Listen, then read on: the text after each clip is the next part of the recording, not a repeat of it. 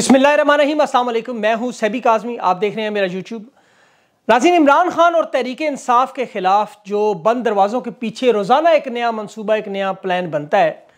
लेकिन आपके सामने वो मालूम इन आती रहेंगी। ये हाजी से बाजी तक का जो सफ़र है रजीम चेंज ऑपरेशन गेम है, ये अपने आखिरी मरहले में दाखिल हो चुकी है। सिविल वार करवाने का पूरा मनसूबा मैं आपके सामने तफसील से रखता हूँ, करने क्या जा रहे हैं। आलमी मंजरनामे में इस वक्त इमरान खान और मौजूदा हालात में कहाँ खड़े हैं हम? और अलहमदिल्ला वो ख़बरें जो हम आपको रोज़ाना पिछले ग्यारह महीनों से बता रहे हैं इसहाक डार अपने मुँह से कल मान गया कि ये असल वारदात है क्या? क्यों अमेरिका इमरान खान को पाकिस्तानी सियासत से बाहर करना चाहता है? पाकिस्तान में फिर मारे गए जो ड्रोन है उसकी भी सबूत सामने आ चुके हैं।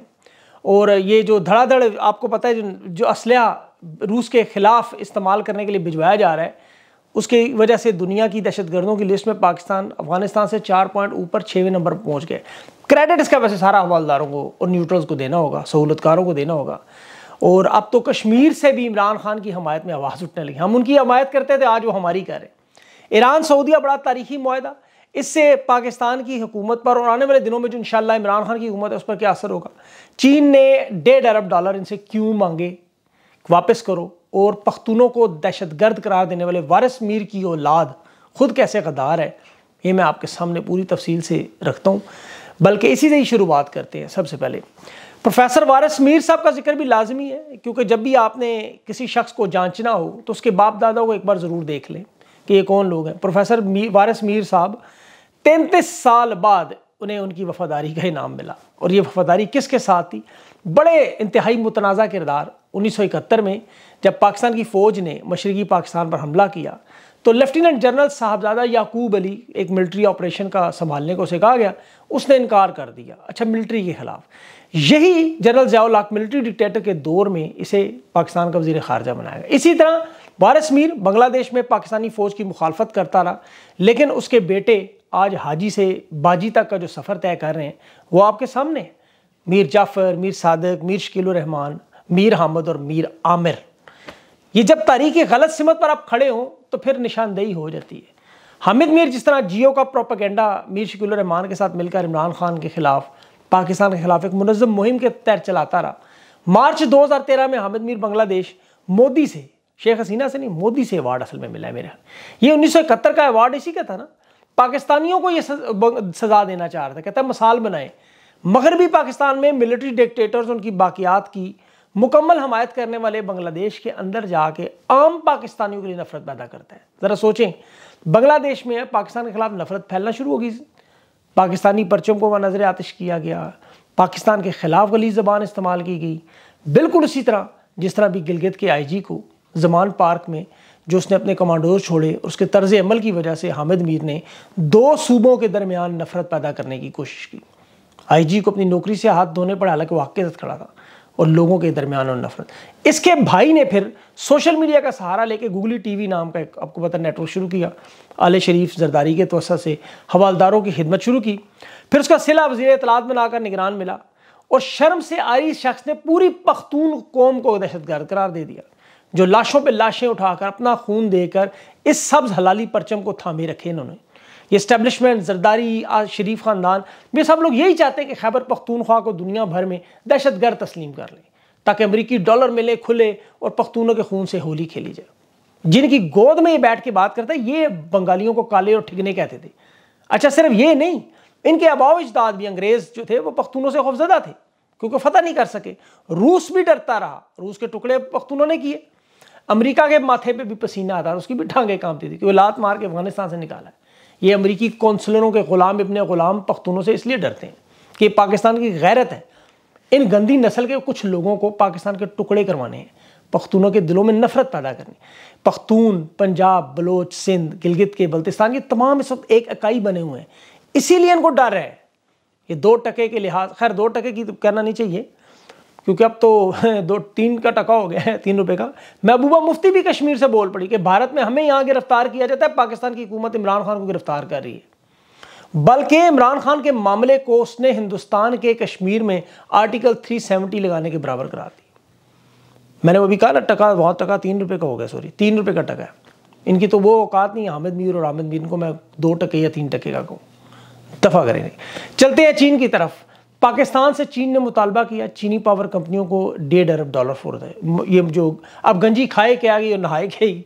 असल मामला ये है कि देखें, यूक्रेन की फ़ौज इस वक्त पाकिस्तान के M forty four A two ये एक सौ पचपन के मार्टर जो वाह फैक्ट्री के बने सॉरी 120 मिलीमीटर के, वो चला रहे हैं, वहाँ पे इस्तेमाल कर रहे हैं। 155 पहले ने सप्लाई होते रहे। अब रूस और चीन के लिए बड़ा तशवीशनाक मामला है, क्योंकि चीन रूस का इतिहादी है। अगले दौर में आप देख रहे हैं, चीन रूस को हथियार भी फराम करने जा रहा है। क्योंकि अमेरिका उधर से ताइवान को सपोर्ट कर रहा है तो चीन ने कहा, हम फिर रूस को सपोर्ट करेंगे. तो अब चीन के जो तीस फ़ीसद कर्जे हैं, वो न्यूट्रल से हवालदारों ने देने हैं। पाकिस्तान चीन के तहादियों को वहाँ पर मुखालफी को असला दे रहे हैं। तो महाज तो बनेगा। आप देखें, मुफ्ती तकी को इस्तेमाल किया गया तस्वीर जिसमें चीन के अयुगर मुसलमानों के खिलाफ वो कह रहे हैं, बाकायदा तौर पर बयान। अब मामला ये हुई एक मुहावरा मुझे याद है, उस्ताद ने बच्चे से पूछा, सूरज दूर है या लाहौर? बच्चे ने कहा, जी, लाहौर। उस्ताद ने कहा, वो कैसे? कहता, जी देखे सूरत नज़र आता है, लाहौर नज़र नहीं आता। तो मुफ्ती तकी उस्मानी को अमरीका के वो डॉलर नज़र आ गए। अब जो चीन की मुखालफत में मिलेंगे। प्लस इसे दिन दिहाड़े लाहौर में जो हुआ पाकिस्तानियों के साथ, वो नज़र नहीं आया। इतनी दूर चीन नज़र आ गया से अब चीन अपने पैसे इसीलिए डेढ़ अरब डॉलर इनसे हवालदारों से मांग रहे चीन की मजबूरी ये है कि उसके पैंसठ अरब डॉलर लगे हुए सी पैक में। वरना वो कब करे, छोड़ देता। लेकिन वो सियासत जानते हैं और आप देखें, चीन अमेरिका के चार बैंक मजीद डिफ़ॉल्ट होने जा रहे हैं। अब मीशत के ज़रिए चीन उन्हें किस तरह तबाह कर और दूसरी तरफ़ सऊदी अरब जो है, उनके ईरान के साथ उसने बाकायदा तौर पर सरमाकारी शुरू करवा दी चीन ने। और आप देखें, सऊदी तेल की जो फ़रोख्त है, उस पर कैप लगाते हैं ना कीमतों का बड़े ना कम ना हो, एक लेवल पर रहें। तो सऊदी वजारत ने अब साफ़ कह दिया, अब तेल की पैदावार और फ़रोख्त हम रोक देंगे अगर कैप लगाई। मतलब अमरीका जो उसका डिफ़ॉल्ट के करीब है, दिवालियापन के करीब है, उसे आप बिल्कुल फ़ारक समझें। ये मामला छोटा नहीं है। जी जब सऊदी अरब ने, आपको पता है, थोड़ी सी पैदावार को रोका था तो जो बाइडन सर के बाल मोहम्मद बिन सलमान के दरबार जा पहुँचा जो उसका नाम किस तरह लेता था। अब जो अमेरिका की आपको चीखें नज़र आ रही हैं गूंज इन गुलामों के हलक से भी निकलती हुई आपको नज़र आएगी। हमारा तो गला बैठ के पिछले दस महीनों में ग्यारह में चीख चीख कर ये कि रजीम चेंज का असल मकसद पाकिस्तान को शाम इराक और लिबिया बनाना है। अफ़गानिस्तान में जो हारी हुई जंग थी, उसका बदला ले रहे हैं लोगों ने। इस खत्े में पाकिस्तान को काबू करना है, फौज को तकसीम करना है, इदारों की लड़ाई करवानी है और सबसे बढ़कर पाकिस्तान के एटमी हथियार इनसे लेने हैं। ये सीधा साधा मामला था। चीन से तो दूरी उन्होंने डाल दी। अब उसकी सबसे बड़ी गवाही देखें इसहाक डार खुद दे रहा है कि आईएमएफ के माहे की सबसे बड़ी शरात है और उसी सांस में कहता है कि कोई भी एटमी या मिज़ाइल टेक्नोलॉजी पर फैसला लेने पर मजबूर नहीं कर सकता। मजबूर तो नहीं करेंगे वो आपको।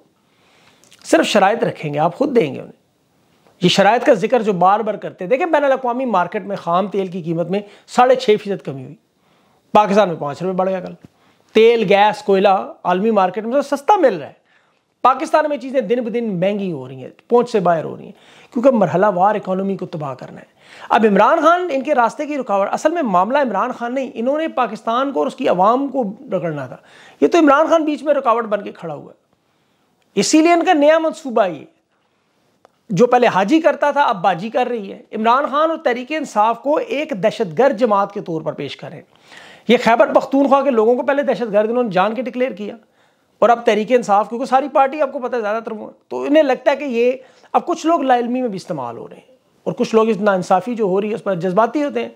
ये दोनों मामला मुख्तलिफ़ हैं। Maryam Nawaz media cell I S I के पेड सजीले जवान मिलकर काम कर रहे हैं।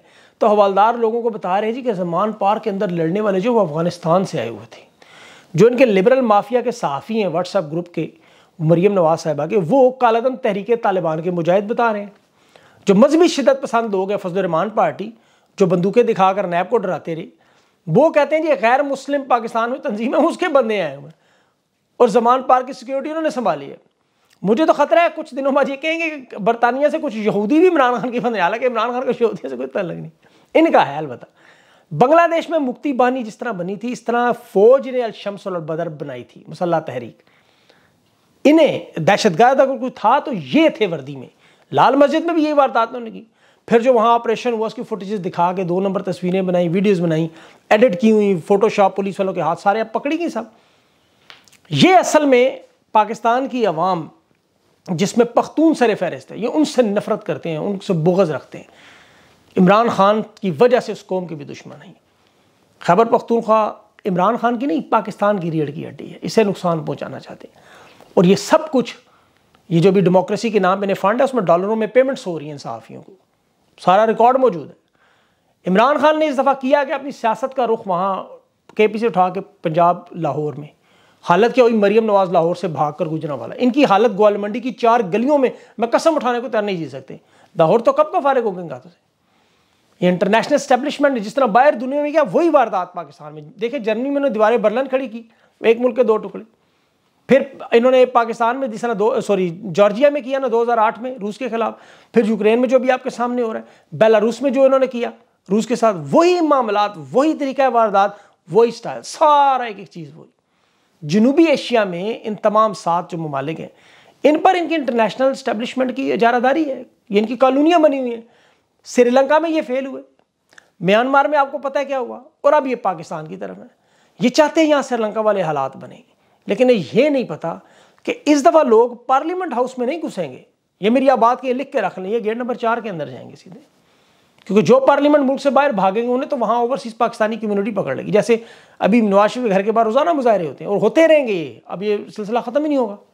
प्रोमन एहतजाज तो लोगों का हक है। ये पश्तून, बलोच, सिंधी, कश्मीरी, गिलगित, बल्तिस्तानी, उर्दू स्पीकिंग पंजाबी, इन सबको तोड़ने के मंसूबे में है। इनका प्लान है कि इमरान खान को गिरफ़्तार करें।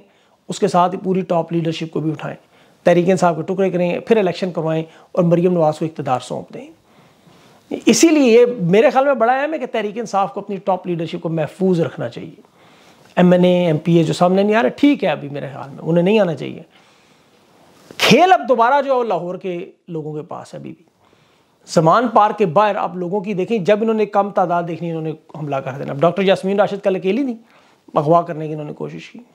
और वजह क्या बता रहे हैं? ज़िले शाह का कत्ल। अंदाज़ा करें कैंसर की वो मरीज़ है, बहत्तर साल उनकी उम्र है।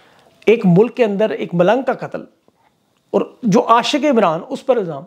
फिर ये अब कोरोना को भी दोबारा डाल रहे हैं बीच में, ताकि इलेक्शन की रैलियाँ, जलसे, लोगों का ठग और तारीख देखें इनकी बदबख्तों की, तीस अप्रैल की तारीख, कि यहाँ मास्क के बगैर आप नहीं। हाजी और हाफिज़ और इनकी बाक़ियात, ये चाहते हैं कि नवाज़ शरीफ, जानते हैं नहीं पता नवाज़ शरीफ रासिफ सरदारी। ये इनकी वारदातें सारी समझते हैं। ये पाकिस्तान के और फ़ौज के दोनों के मुखालत है जब जरदारी से इनके मामला ख़राब तो क्या हुआ था, जरदारी ने मेमो अमरीका को भेजा। इन्हें ठीक करो आगे। हाफिज़ को पता है पीपल्स पार्टी को हाथ डाला तो उसी तरह सिंधु देश का नारा डाल देंगे। नवाज़ शरीफ को कुछ कहा तो वो तो पठानकोट की जो दहशत गर्दी की एफ़ आई आर है वो भी अब तो मरियम गुजरावाला में लड़े, गुजरावाला में करेंगे F I R Dawn leaks volume ten में नवाज़ शरीफ ने कह दिया था साहब कि अमरीका के साथ डील ना, ये मुनाफ्त कर रहे हैं। मुंबई हमले कलभूषण के खिलाफ इंटरनेशनल अदालत में नवाज़ शरीफ के बयान। और फिर अब मुसल जब वो फजल रहमान तो वो तो अपना मुसल्ला जत्था ले आता पीछे। इमरान खान ने तो ना अमरीका को बुलाया, ना भारत को बुलाया, ना अपना कोई मुसल्ला जत्था बनाया। ना ये कहा, मैं खैबर पख्तूनखा ला करूँ, ना मरसूँ मरसूँ, सिंध मरसूँ, ना जाग पंजाबी जाग का नारा लगाया। ना इन, सिर्फ़ वजह इमरान खान, इनके और इनकी आकाओं के सामने सर नहीं झुका रहा। अभी देखें, फ्रांस के चैनल को इमरान खान जो इंटरव्यू दे रहे थे उसने कहा एंकर ने अपनी तरफ़ से कि पाकिस्तान के हालात मुजाहरे हो रहे हैं जी, बड़े ख़राब हैं। इमरान खान ने कहा, मुजाहरे तो फ्रांस में होते हैं और बड़े ख़तरनाक मुजाहरे वहाँ होते रहे। अब इमरान खान चाहता, वो चाहते थे पाकिस्तान के खिलाफ बात करे, लेकिन वो कैसे पाकिस्तान के खिलाफ बात कर? सवाल ही नहीं पैदा अब जो भारत कॉन्फ्रेंस करवा रहा है, उसमें ख्वाजा आसिफ को बुला रहा है। क्यों? कि नवाज़ शरीफ की नरेंद्र मोदी के साथ ज़ाती दोस्ती। कश्मीर का मसला आपको नज़र आया पिछले ग्यारह में? नाम भी सुना आपने? कोई एग्जिस्ट भी करती है चीज़? पता ही नहीं किसी को। वो अब हमारी बातें कर रहे हैं। वो तमाम नुकात जो मैंने आपको बताए, चीन से दूर करना, अवाम फौज के दरमियान दूरियाँ, अवाम इदारों के दरमियान, और एटमी हथियार। इमरान खान को रास्ते से हटाना, नवाज़ शरीफ को वापस लाना, मरियम को इकतदार में पाँच साल रखना। इकानमी को इतना तबाह कर देना कोई ठीक ना कर सके। और खैबर पख्तूनख्वा के लोगों से अपना इंतकाम और बदला लेना। ये जो ड्रोन है, आप उसके सबूत आ चुके हैं। आप देखें, मेरे ट्विटर पे पूरी वीडियो लगी हुई है। यहाँ मैं शेयर नहीं कर सकता किसी वजह से। देख लें आप, उस नौजवान ने मेरी कोशिश से बात भी हो जाए। उसमें बता रहे कि किस तरह, ये फौज दावा करे, ये मार्टर मारा था हमने। उसने पूरा उसका बखिए देड़ के बता दी। ये त्यारे से, ड्रोन त्यारे से बाकायदा मिज़ाइल मारा गया। टारगेट, बख्तून। क्योंकि आलम दीन हमारा दीन फरोश है, जर्नेल हमारा धरती फरोश है। मुकाबले में इसके नौजवान है तरीके इंसाफ के, जो पचहत्तर साल में असल में ये कर नहीं सका, कोई भी एक छः बेडरूम के घर को ये काबू करना चाह रहे, कब्जा करना चाह तरीके इंसाफ के लोग मेरे ख्याल में पहुँचे जमान पार। ये इमरान खान को गिरफ़्तार करने की कोशिश करें, गैर कानूनी अमल है, गैर इंसानी, गैर अखलाकी मेरी दुआ है, अल्लाह ताला आपका हामी नसर हो, पाकिस्तान को हर मुश्किल से बचाए। इन आगे जो है रास्ता हमें साफ़ नज़र आएगा। जितनी मर्ज़ी मुश्किल आता है, इससे बड़े बड़े मुश्किल वक्त पाकिस्तान में आए हैं। आप लोग सोच नहीं सकते। बहुत सारी चीज़ें तो हमने देखी हुई। अब जो हमने सब कुछ देख लिया, ऐसे लगता है पूरी तारीख पचहत्तर साल हमने पढ़ ली। तो इसलिए इंशाल्लाह इसका इंजाम जो है ना, वो आखिर बेहतर होगा। इन लोगों का अलबत्ता इंजाम जो है, वो बेहतर नहीं होगा। वो मैं आपको कल बताऊँगा, इन जैसे लोगों का इंजाम क्या है। अपना खास ख्याल रखें। अपना मुझे अगली वीडियो तक ले इजाज़त। अल्लाह हाफिज़।